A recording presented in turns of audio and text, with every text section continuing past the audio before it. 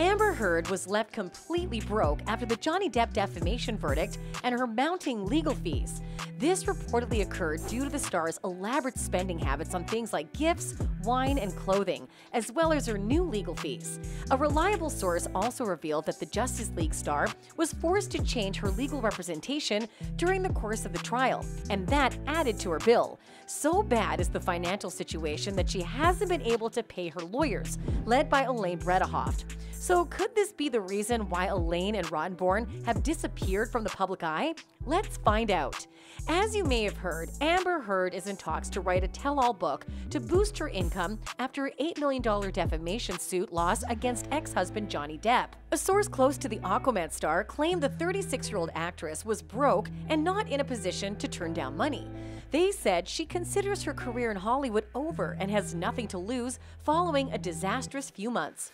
The news comes after Amber admitted through her lawyer that she cannot afford the 8.3 million in damages awarded to Depp on June 1st following their defamation battle. It has now come to the attention of those close to the situation that the actress was hoping to pay her legal team with the 100 million that she asked in her countersuit, but since she lost, things have been pretty thick for her. Both Elaine and Ben Rottenborn have taken a few steps away from the camera lenses, and it is now believed that their exploits in the Virginia courtroom have not been compensated.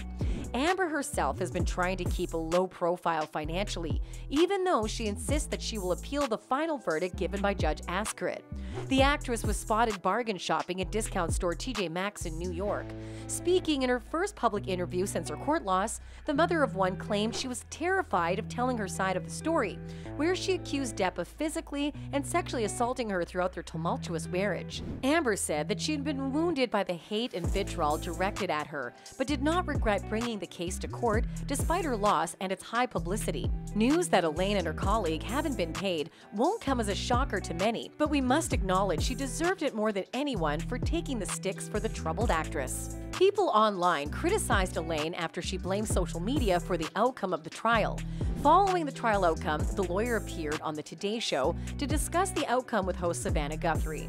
During the interview, she said that Depp's team was focused on demonizing Amber and suppressing her legal team's evidence. One of the ways the actress was effectively demonized was through social media, Elaine alleged. Throughout the trial, the Machete Kills actress faced severe backlash online from Depp's fans.